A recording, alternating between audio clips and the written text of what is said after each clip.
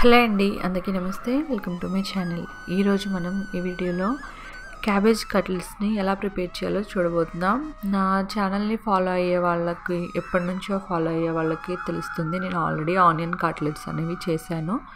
చాలా టేస్టీగా ఉంటాయి. కామెంట్స్ కూడా చేశారు. అండ్ ఇప్పుడు క్యాబేజ్ కట్లెట్స్ క్రిస్పీగా రావాలన్నా ఆయిల్ పీల్చకుండా రావాలి అంటే ఎలాంటి జాగ్రత్తలు తీసుకోవాలి? ఏ మెజర్మెంట్స్ని తీసుకోవాలి. అంటే క్వాంటిటీ ఏది ఎంత తీసుకోవాలి అనేది డీటెయిల్గా చెప్పాను. టిప్స్ కూడా ఉంటాయి. స్కిప్ చేయకుండా చూసినట్టయితే పర్ఫెక్ట్గా చేసుకోగలుగుతారు. ఫస్ట్ అయితే ఒక మిక్సింగ్ బౌల్లోకి సన్నగా తురుము పెట్టుకున్న క్యాబేజ్ని తీసుకోండి. ఈ క్యాబేజ్ని మనం మెజర్ చేసేటప్పుడు ఏదైనా ఒక మెజరింగ్ కప్ని కానీ గిన్నె గ్లాస్ ఏదైనా సరే టూ కప్స్ అలా కొంచెం లోపలికి ప్రెస్ చేసి క్యాబేజ్ని గిన్నెకి అడ్జస్ట్ చేసి టూ కప్స్ తీసుకోండి. దీంట్లోకి ఒక ముప్పావు కప్పు శనగపిండి ఒక కప్పు కార్న్ఫ్లోర్. ఏ గిన్నెతో అయితే మీరు క్యాబేజ్ కొలత తీసుకున్నారో అదే గిన్నెతో శనగపిండి కార్న్ఫ్లోర్ తీసుకొని ఒక హాఫ్ టేబుల్ స్పూన్ అల్లం వెల్లుల్లి పేస్ట్ టేస్ట్కి తగ్గట్టు ఉప్పు కొద్దిగా పసుపు కారం అలాగే గరం మసాలా. గరం మసాలా ఇష్టం ఉంటే వేసుకోవచ్చు. ఇష్టం లేని వాళ్ళు అవాయిడ్ చేసుకోవచ్చు. అలాగే ఇక్కడ నేను ఫుడ్ కలర్ అనేది అవాయిడ్ చేస్తున్నాను. ఒకవేళ మీకు కలర్ఫుల్గా కావాలి అని అనుకున్న వాళ్ళు రెడ్ కలర్ని ప్రిఫర్ చేసుకోవచ్చు. ఒకసారి బాగా మిక్స్ చేసి ఒక ఫైవ్ టు టెన్ మినిట్స్ పాటు పక్కన పెట్టేయండి. ఒక టెన్ మినిట్స్ తర్వాత జస్ట్ లైట్గా వాటర్ స్ప్రింకిల్ చేసుకోండి.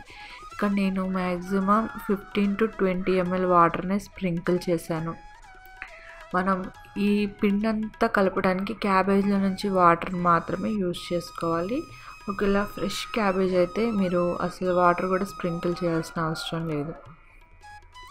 మీరు కంప్లీట్గా వాటర్ పోసి పిండిని కలిపారంటే మాత్రం తర్వాత క్యాబేజ్లో నుంచి వాటర్ అనేది ఓరుతుంది పిండి అనేది లూజ్ అయిపోతుంది. కట్లెట్స్ చేసుకోవడానికి అంత వీలు ఉండదు ఇంకా ఎక్స్ట్రా పిండి కలపాల్సి వస్తుంది టైట్ చేయడానికి. కానీ కట్లెట్స్ అనేవి ఆయిల్ పీల్చుకుంటాయి. ఈ మెజర్మెంట్ అయితేనే కరెక్ట్గా ఆయిల్ పీల్చుకోకుండా ఇలా చేస్తేనే గట్టిగా ఉంటాయి.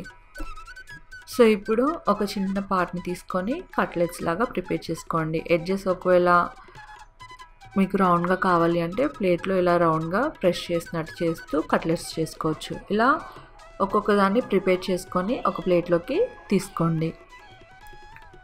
నేను ఒకటికి మూడు సార్లు చెప్తున్నానండి. వాటర్ అనేవి ఎక్కువ పోసి మీరు ఈ కట్లెట్స్ అనేవి ప్రిపేర్ చేసుకోవద్దు. నెక్స్ట్ డీప్ ఫ్రైకి సరిపడా ఆయిల్ తీసుకొని ఆయిల్ బాగా హీట్ అయిన తర్వాత మంటని లో టు మీడియం ఫ్లేమ్లోకి అడ్జస్ట్ చేసుకొని మనం ప్రిపేర్ చేసి పెట్టుకున్న కట్లెట్స్ని ఆయిల్లోకి యాడ్ చేసేయండి.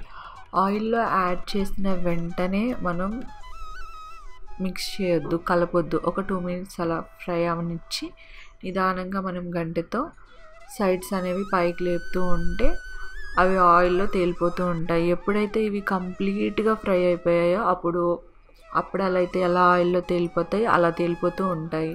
ఇవి లోపల వరకు ఫ్రై అవ్వాలి కుక్ అవ్వాలి అంటే మాత్రం మీరు ఆయిల్ బాగా హీట్ అయిన తర్వాత లో టు మీడియం ఫ్లేమ్లోనే ఫ్రై చేసుకోవాలి. ఇవి ఫ్రై చేసుకునేటప్పుడు కూడా మనం అటు ఇటు టర్న్ చేసుకుంటూ ఫ్రై చేసుకోవాలి.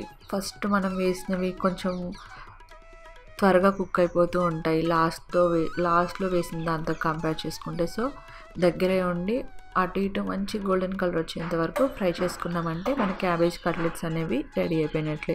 చూసారు కదా ఇది వీడియో మీ అందరికీ నచ్చిందని అనుకుంటున్నాను. నచ్చితే తప్పకుండా లైక్ చేసి మన ఛానల్ సబ్స్క్రైబ్ చేసుకోండి. ఒకవేళ మీరు కానీ ఎలా ట్రై చేశారంటే ఎలా వచ్చింది ఏంటి అనేది నాకు కమెంట్స్లో మెన్షన్ చేయండి. ఒకవేళ మీకు ఆనియన్ కట్లెట్ వీడియో కావాలి అంటే నేను లింక్ డిస్క్రిప్షన్లో ఇస్తాను. చూసేయండి. Thanks for watching